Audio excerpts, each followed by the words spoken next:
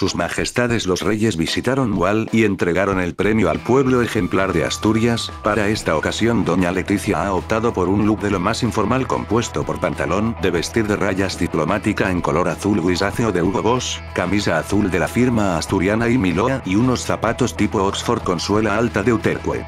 Durante el recorrido la reina se ha cubierto con una gabardina en color azul marino. Como complementos, solamente ha utilizado sus pendientes con forma de mariposa de Elena Carrera.